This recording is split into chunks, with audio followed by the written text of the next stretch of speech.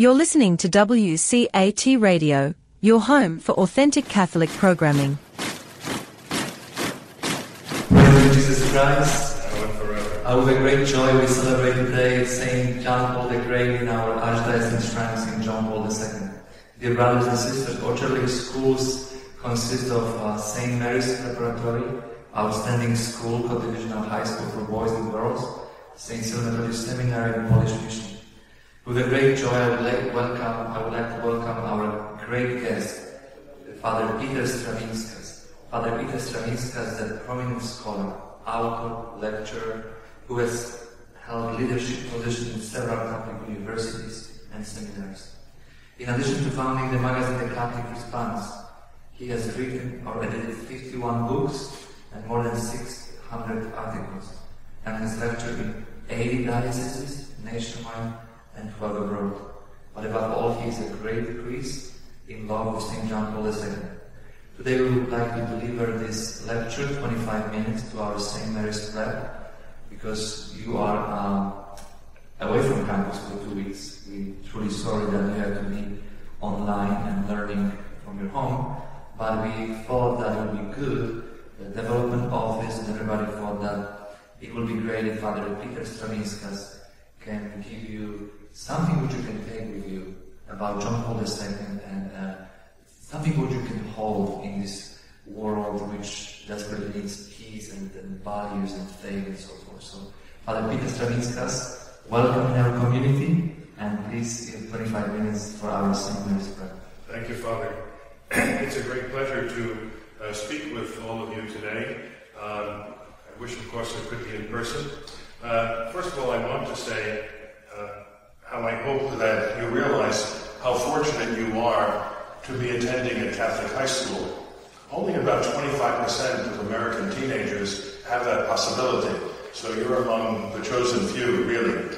From the age of four, I have spent my entire life in Catholic schools as a student, a teacher, and administrator, and presently serve as president of the Catholic Education Foundation, uh, which has been working closely with the Archdiocese of Detroit for the past couple of years, especially through the superintendent of schools, Mr. Kevin Kijewski. And I want to say also that the happiest days of my priestly life and ministry were when I was in full-time work in Catholic high schools. This year we've been celebrating the 100th, birth, 100th anniversary of the birth of John Paul II, who became Pope on October 16, 1978. Your parents probably grew up during his pontificate, and your school is part of the Polish American commitment to Catholic education and in a special way to honoring the legacy of the Polish Pope. As you probably know, as, as a boy, a young man, a priest, and a bishop, he lived under two totalitarian regimes, Nazism and communism. And there were many books on his life, and I'm sure that your teachers have already given much information about his life, but I want to share with you John Paul's thoughts of, of his to young people, and particularly to Catholic school students. And therefore, he's very much the, the Pope of youth and the Pope of Catholic education. My first encounter with John Paul occurred during Holy Week of 1979. It was his first Holy Week as Pope and I had brought 10 of my high school students to Rome for the events, the liturgies of Holy Week. And on the Wednesday of Easter week, we were present at a general audience, and we had a banner of our schools. And as the Pope Mobile was coming by, the Pope saw our banner, again showing his tremendous commitment to Catholic education. He had the driver pull over and ask, Where are you from? And we said, From Boise, Idaho, Bishop Kelly High School in Boise, Idaho. And he, hmm. And the, one of the students said, Are you going? He said, I'm coming to your country. And it was the first anyone had heard that he was coming to America, which would be the following fall. And so one of the boys said, Are you going to come to our school? He said, Where is that? And he said, Boise, Idaho. Idaho. Where is Idaho? And the boy said, And you know, we have great skiing because everyone by then knew that John Paul was a great skier. He said, I will come if they let me, and I will ski if they let me. But that October, as a matter of fact, he did indeed come to America. And his first stop on that trip was in Boston. and at the Holy Mass celebrated on Boston Common, uh, he dedicated the majority of his homily to young people. One page is introductory material, and then all the rest is to young people. And I want to read you some of those comments. Today, in a very special way, I hold out my hands to the youth of America. In Mexico City and Guadalajara, I met the youth of Latin America. In Warsaw and Krakow, I met the youth of Poland. In Rome, I meet frequently groups of young people from Italy and from all over the world. Yesterday, I met the youth of Ireland and Galway. And now, with great joy, I meet you.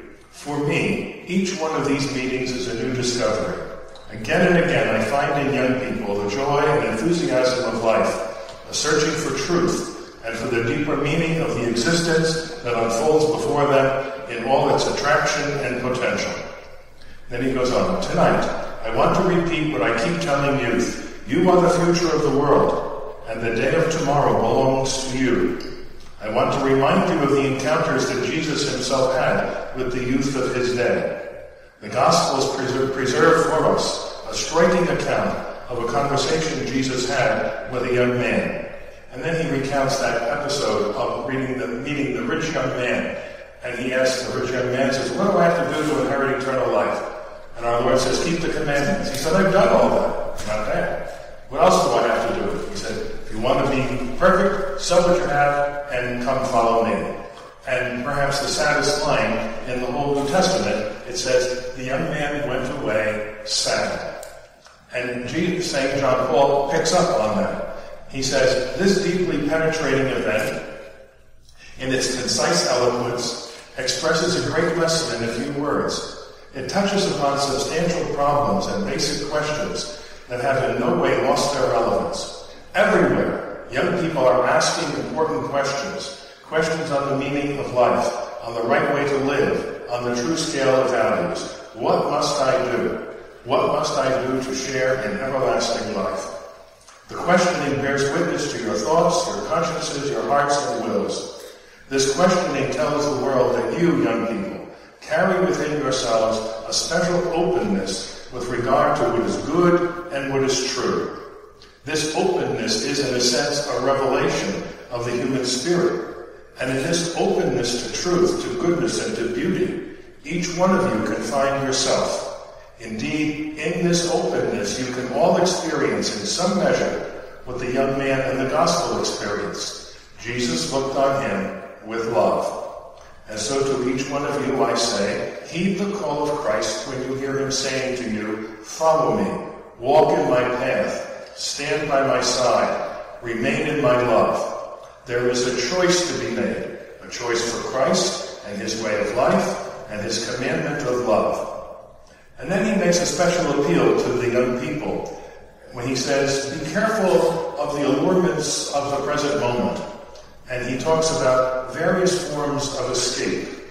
And the thing, the situation has not changed since.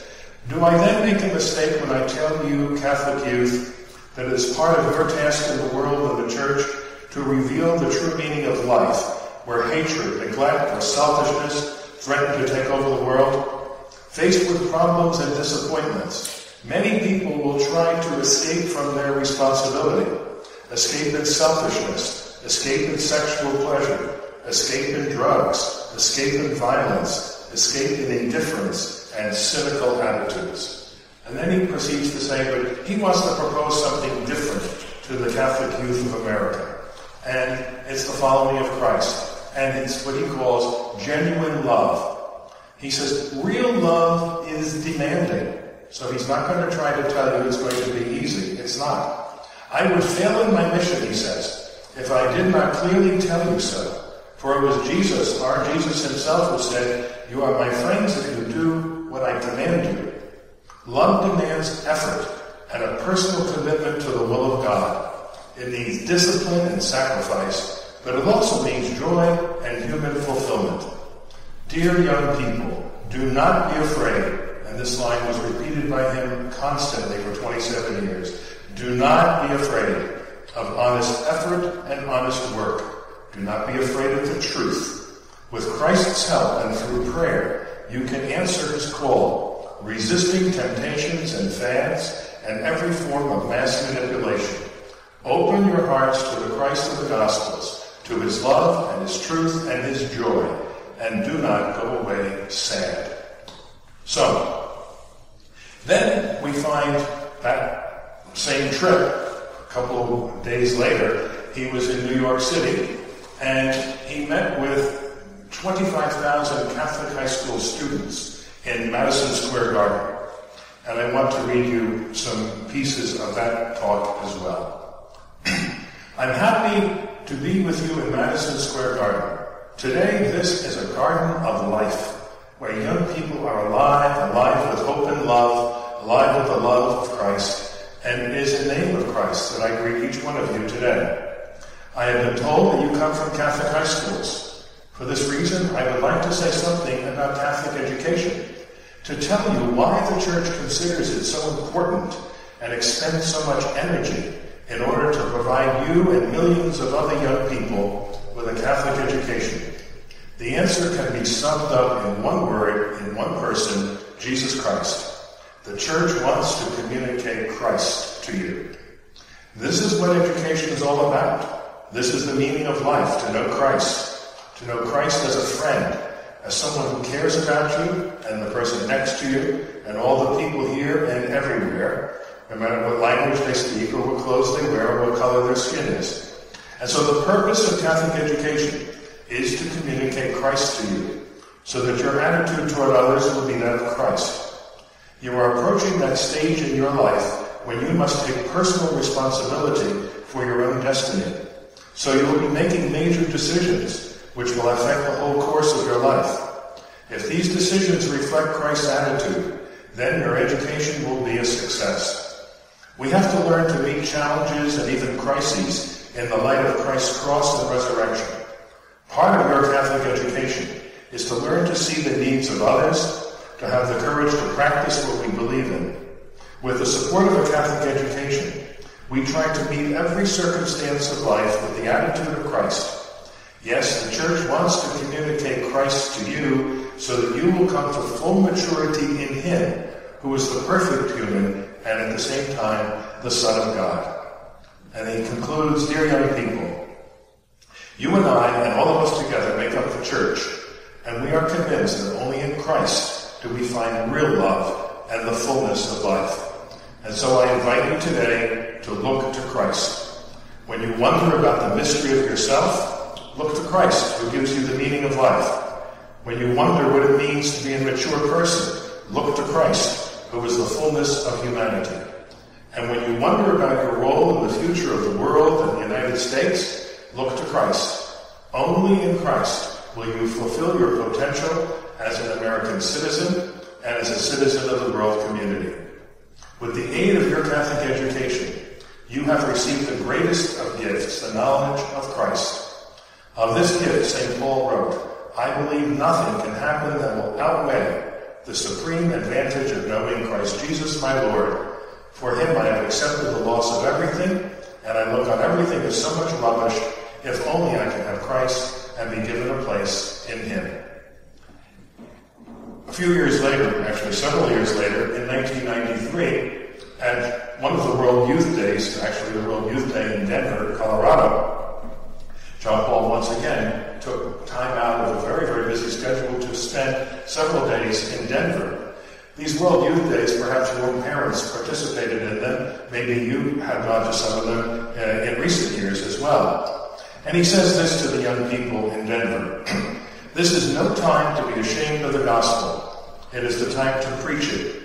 Do not be afraid to break out of comfortable routine modes of living in order to take up the challenge of making Christ known in the modern metropolis. Do not be afraid. Do not be satisfied with mediocrity. Put out into the deep and let down your nets for a catch. I plead with you, never ever give up on hope, never doubt, never tire, and never be discouraged. Be not afraid. And once again, you see the tremendous appeal to you young people and that message is powerful today as it was then. But I'd like to underline, do not be satisfied with mediocrity. So it's not enough to slim by in a class with a C. Strive for greatness in your academics, in your spiritual life, the importance of Sunday Mass and daily prayer. Otherwise, participation in a Catholic school doesn't mean much. It's sort of a, a, a foundationless opportunity. And then finally, he tells us in a talk to 5,000 high school students, only in Christ do we find real love and the fullness of life. When you, again, when you wonder what it means to be a mature person, look to Christ, who is the fullness of humanity. And when you wonder about your role in the future of the world, look to Christ. And finally, I would mention a talk he gave to young people in Los Angeles in 1987. And he gets very personal here. He says, I'm often asked, especially by young people, why I became a priest. Maybe some of you would like to ask the same question. Let me try briefly to reply. I must begin by saying that it is impossible to explain entirely, for it remains a mystery even to myself. How does one explain the ways of God? Yet I know that at a certain point in my life, I became convinced that Christ was saying to me what he had said to thousands before me, Come follow me. There was a clear sense that what I heard in my heart was no human voice, nor was it just an idea of my own. Christ was calling me to serve him as a priest. And then he makes a personal invitation to you. And you can probably tell that I am deeply grateful to God for my vocation to the priesthood.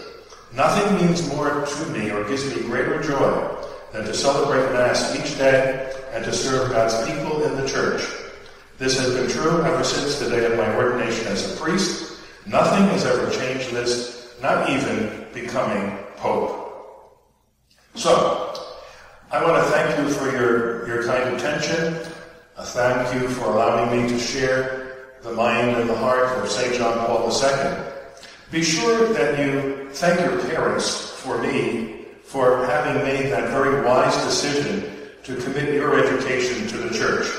And be grateful to them and express that gratitude every day for the sacrifices they make for your Catholic education. And be sure to thank your teachers who also sacrifice so much. If they were working in the government schools, they could be making 40 to 50% more. But they sacrifice so they can share with you a Christian vision of life. Seek often the powerful intercession of John Paul II. And as we end our little appointment this afternoon, I wish to give you my priestly blessing, and I have no doubt that St. John Paul, the Pope of Youth and the Pope of Catholic Education, will be joining me in that action from the house of our Heavenly Father. May Almighty God bless you, the Father, and the Son, and the Holy Spirit. Amen. Thank you so much, Father Stravinskas. Thank you so much for uh, being with us and especially giving the, the opportunity to St. Mary's students to, to, to hear you. Uh, I would like to just remind you that we will have today 6 p.m. Holy Mass. Uh, celebrant will be Bishop uh, Robert Fisher, Auxiliary Bishop of uh, Angeles Detroit, and homilies will be Father Peter Stravinskas. Tomorrow, uh, Friday, we will have the presentation uh, John Paul II and the laity, Father Stravinskas, 6 p.m., and that will be in Archdiocese in John Paul II, and then 7 p.m. Mass in Polish language. The presider will be Father Andrzej Maśleja, the pastor of Our Lady of Częstochowa in Sterling. Saturday, Saturday at 5.30 p.m. we will have the presentation. Father Peter Stravinskas will talk about John Paul II's vision of citizenship in an election year so important today. And then 6 p.m., 6 p.m. I would like to invite all of the Chaldean friends as we will have a Mass celebrated by Bishop Francis Kalabat. And then, as you all know, every Sunday at 11 a.m., we have the English Mass in Archdiocese Shrine St. John Paul II. This Sunday, we are blessed beyond measure that Father Stravinskas will stay longer with us and he will celebrate the Mass and he will deliver communion. So, this coming Sunday, the October 25th, 11 a.m. Mass celebrant Father Stravinskas and also Kubrick.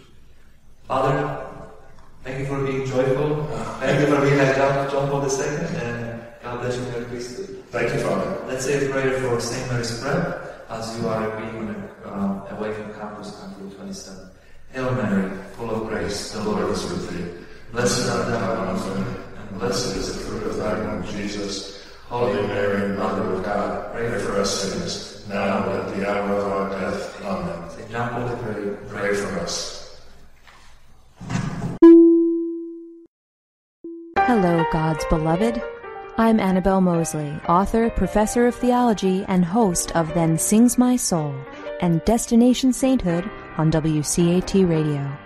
I invite you to listen in and find inspiration along this sacred journey we're traveling together to make our lives a masterpiece and, with God's grace, become saints. Join me, Annabelle Moseley, for Then Sings My Soul and Destination Sainthood on WCAT Radio. God bless you. Remember, you are never alone. God is always with you.